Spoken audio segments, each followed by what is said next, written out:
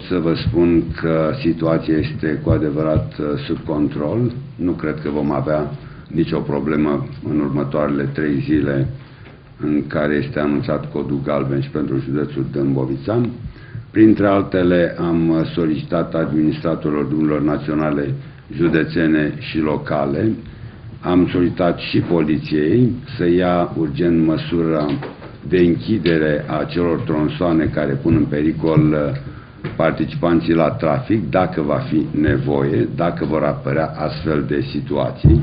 Firmele care au câștigat uh, uh, licitațiile și care se ocupă de dezăpăzire atât pe drumurile naționale cât și județene și locale au un obiectiv mai, mai amplu, să spunem, în acest moment, de a de a preveni, deci le-am cerut în primul rând să facă chiar prevenție, adică să iasă deja în drum și dacă apar probleme să intre deja în, în obiectiv, pentru că altfel dacă vom aștepta și orice minut pierdut ne va crea probleme și atunci va fi mult mai greu să ne facem treaba și să-și facă treaba la rândul lor.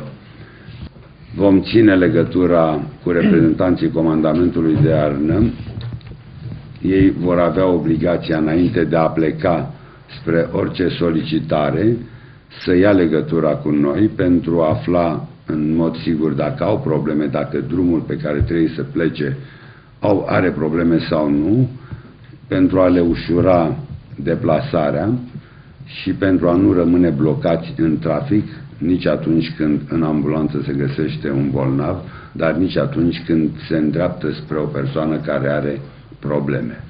Cât privește de uh, jandarmeria, ISU, poliția și armata, vor avea pregătite efective gata să intervină în sprijinul populației, acolo unde va fi cazul.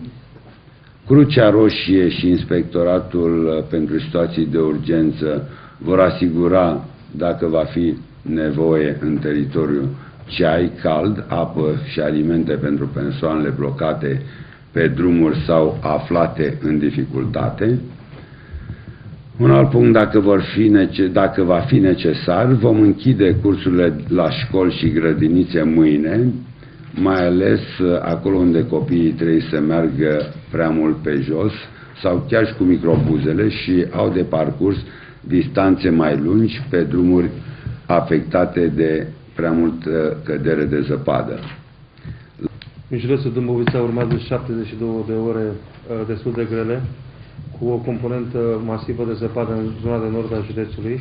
Vom avea căderi masive de zăpadă în zona de nord a județului și este posibil un fenomen uh, uh, foarte periculos pentru circulația auto în zona de sud. Uh, se pare, conform datelor furnizate de uh, Institutul Național de Meteorologie și Hidrologie, că este posibil ca zăpada să se transforme în ploaie la o temperatură de minus 5 grade. Și atunci zona de, de sud riscă să intre uh, sub un strat de polei foarte periculos pentru circulația auto. De aceea vin și rog insistent pe cei care nu au neapărat nevoie să plece din casă în acest weekend, să se gândească de două ori înainte să plece, din și familiile și mai ales să nu plece cu copii de acasă. Când am solicitat celor de la Electrica să fie pregătiți cu mai multe echipe de intervenție. Pentru că acest fenomen de ploaie Uh, poate îngrăuna de 10 ori mai mult firele electrice, ploaia se uh, depune sub formă de gheață pe cablurile electrice și putem avea din nou ruperi de uh, uh, rețele electrice și tot așa să rămână uh, sate, comune, localități în, uh, în Besna. De asemenea, centrele sociale au suficientă hrană, au suficiente medicamente, Uh, și sunt uh, echipate pentru a putea uh, trece cu bine perioada celor 72 de zile. Spitalul județean, 72 de ore, scuze. Spitalul județean este tot așa echipat, ca să spun în termeni militari, este echipat pentru a depăși cu bine această perioadă. Avem și stocuri de medicamente și de alimente și căldură. Vreau să fac și eu trei recomandări. În primul rând, uh, doresc uh, să informez uh, participanții la trafic că am suplimentat numărul de polițiști pe raza întregului județ. De asemenea, îi rog pe cei care nu au o urgență să renunțe la deplasări în această perioadă, iar pentru cei care într-adevăr urgența o impune, să se informeze din timp, atât prin uh, mijloacele cunoscute, media sau celelalte de comunicare, dar în mod special să oprească la echipajele de poliție și să se informeze care este starea carosabilului și cum se circulă în zona respectivă.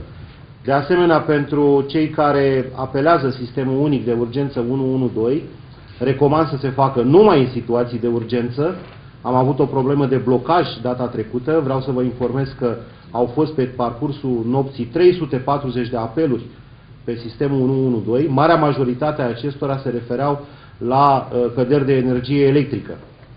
Îi rog încă o dată pe cetățeni să apeleze sistemul 112 numai în cazuri de urgență.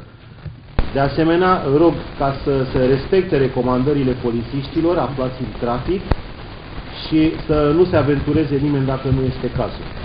Nu vreau să creez panică, suntem pregătiți pentru acest moment și uh, sunt convins că vom trece cu bine și peste această avertizare mentală.